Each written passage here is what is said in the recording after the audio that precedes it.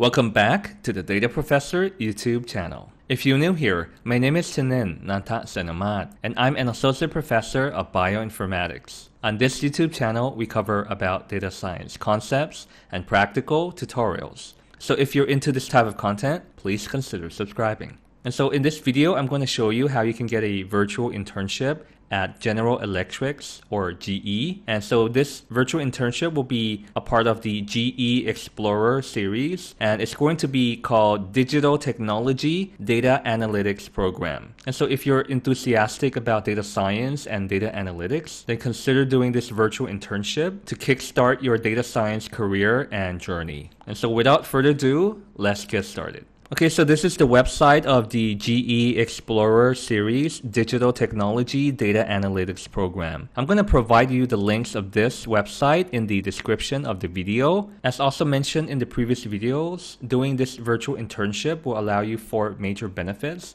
So the first thing is that you could gain experience doing this data analytics program virtually. And the second point is that you could complete the program in only five to six hours. And since the program is self-paced, you can spend time whenever you're free to complete the program. And the third benefit is that you're going to gain practical experience directly from General Electric. And the fourth major benefit is that you could include this experience in your CV and your LinkedIn profile. And so let's begin with the details of this program. So if you're keen in data science and data analytics, you want to give this program a try. So this GE Explorer Digital Technology Data Analytics program will allow you to learn from GE and gain insights into some of the cutting edge project that they are working on and how you can solve and tackle real life problems. And so let's scroll down further.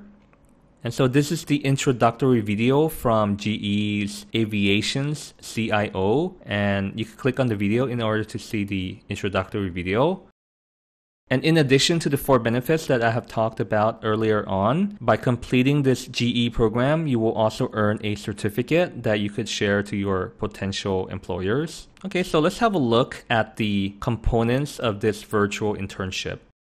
So what will we learn from this digital technology data analytics program? And so as we can see here, there are a total of two modules in this program. So the first module will be data engineering and you're going to use data engineering to combine full flight engine data, part manufacturing data, airport location data in order to determine the distance traveled for each airplane. And some of the skills that you will acquire from this module include PostgreSQL, data orchestration and transformation, and critical thinking. And the second module will be data visualization. And so for this one, you will use the data to create a run chart and a KPI, which is the key performance performance indicators. And so the second module is data visualization. And according to the description, you will learn about how to use data to create a run chart and KPI tables based off of simulated aviation data. And some of the practical skills that you will acquire from this module includes making a run chart, data storytelling through visualization, and business intelligence. And so upon submission of your answers, you could also compare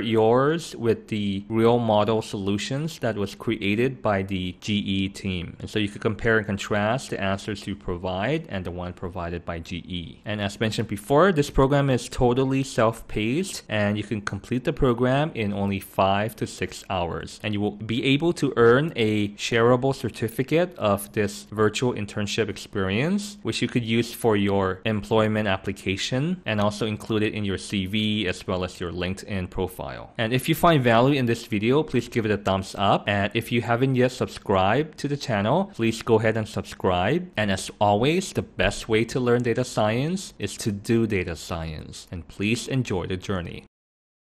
Thank you for watching. Please like, subscribe, and share, and I'll see you in the next one. But in the meantime, please check out these videos.